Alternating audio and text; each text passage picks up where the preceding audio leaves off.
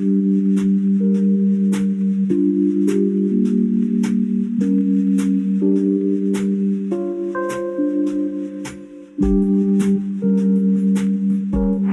about a balance. It's all about uh, finding an interest in uh, what you're doing. It's about a mindset, actually.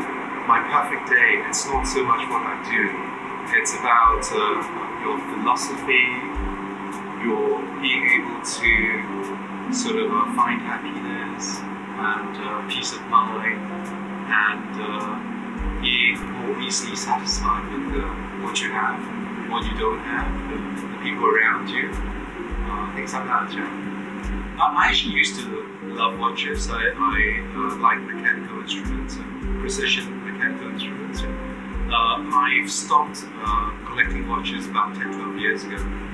When I was uh, buying watches, I was very careful. You, you, get distracted easily, actually, like everything, but I, I started with buying uh, a number of different brands. And eventually I just settled down in buying uh, Rolexes and a birthday present from my father. My father died a long time ago. He gave me his uh, gold Rolex when I was 21. I really did not appreciate the significance at the time. But it was a watch he was wearing for several years. Yeah. So that uh, will go to the next generation.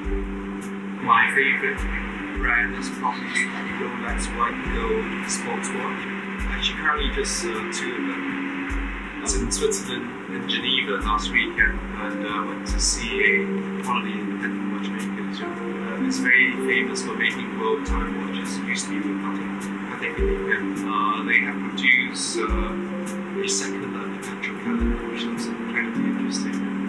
Which means you don't have to change time for 400 years.